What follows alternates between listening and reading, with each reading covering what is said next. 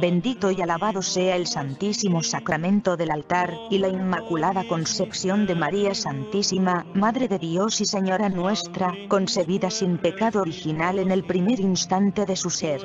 Amén. Dulcísimo Jesús sacramentado, en quien creo, en quien espero, a quien adoro y amo sobre todas las cosas penetrado del más vivo dolor de haberos ofendido, recurro a vuestros pies y presencia santísima, conociendo que he pecado delante del cielo y contra vos, y por ser quien sois, bondad infinita, me pesa una y mil veces de haberos ofendido. Recibid, Señor, la contrición de mis pecados, y aumentadla y perfeccionadla, para que sea firme el propósito que hago de nunca más volver a ofenderos, y de confesarme debidamente y en reconocimiento de la misericordia que espero me habéis de conceder, admitiéndome a vuestra gracia. Quiero dedicarme a vuestro servicio en el Santísimo Sacramento, en donde os alabaré y bendeciré toda mi vida, soberano y eterno Dios, en cuya presencia están llenos de respeto los más altos serafines, y maravillados de vuestra infinita grandeza no hacen más que repetir, Santo, Santo, Santo